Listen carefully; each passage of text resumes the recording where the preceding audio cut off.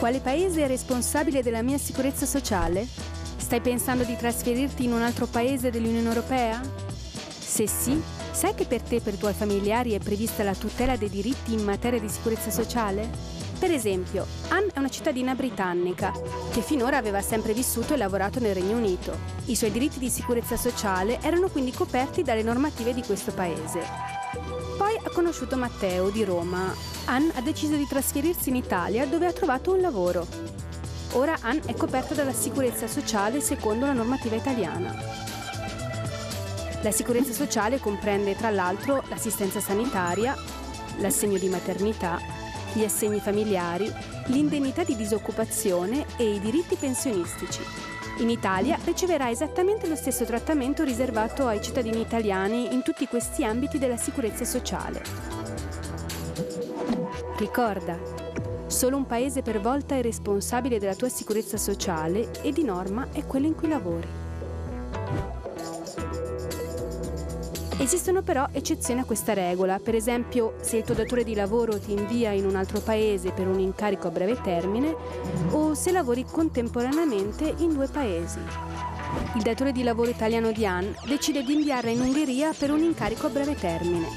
Se tale periodo è inferiore a due anni e se lei continua a lavorare per lo stesso datore di lavoro, Anne continuerà ad essere coperta in Italia, anche se di fatto lavora in Ungheria.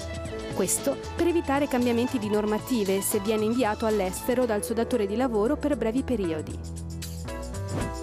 Anne ci ha preso gusto a muoversi in Europa. Aveva sempre desiderato vivere in Svezia e grazie a un'opportunità di lavoro ha deciso di trasferirsi lì. Ora lavora per un'impresa danese.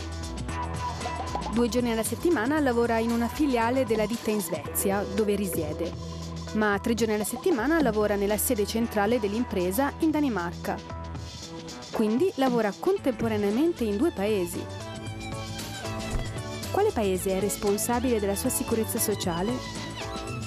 Dato che Anne svolge una parte sostanziale della sua attività, oltre il 25% in Svezia, dove inoltre abita, la Svezia è responsabile della sua sicurezza sociale altrimenti sarebbe stata assicurata nel paese in cui ha sede il suo datore di lavoro, la Danimarca.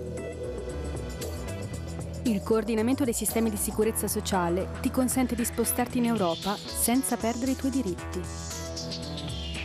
Coordinamento dei regimi di sicurezza sociale. L'Europa si muove con te.